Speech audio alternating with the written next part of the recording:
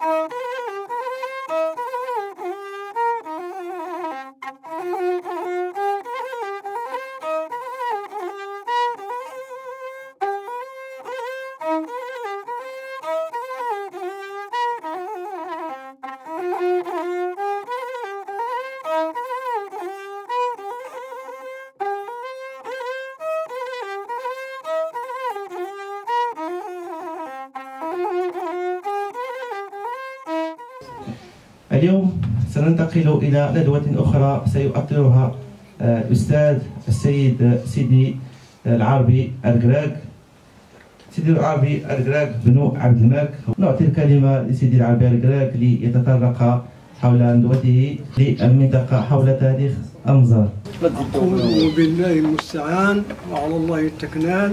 نتناول هذا الموضوع. عناصر الثلاث يعني الإنتاج الطبيعي للمزار الموقع التسمية وصول السكان.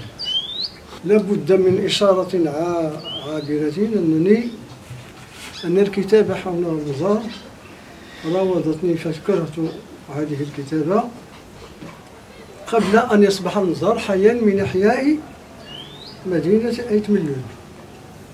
وتساءلت مرارا ما الذي أكتبه عنها عن المزار ثم عدلت عن الأمر أي أمر الكتابة لمدة طويلة.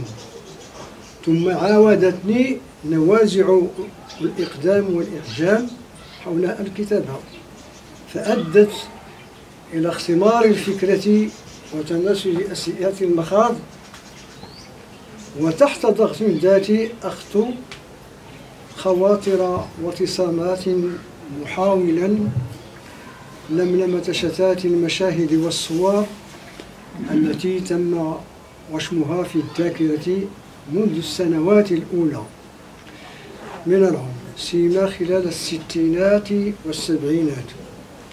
فعلا إن للمزار سمات تجعلها يستحق الكتابة يضاف إليها المكانة التاريخية والعلمية التي حظيت بها المزار حيث استضافت فرعا من فروع الرقراقيين وهو المقرئ عبد الله الرقراقي مؤسس مدرسة القراءات القرآنية وبعده أحفاده محمد سيدي محمد القراق سيدي محمد عبد الله القراق وابنه عبد الله.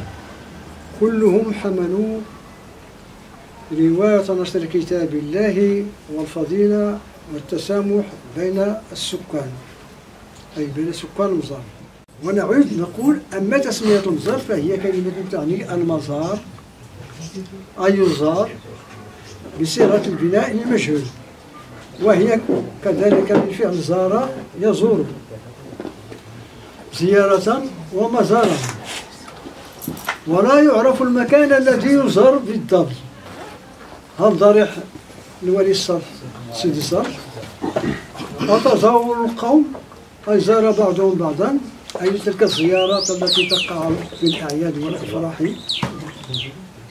والمناسبات والمزار كلمة عربية.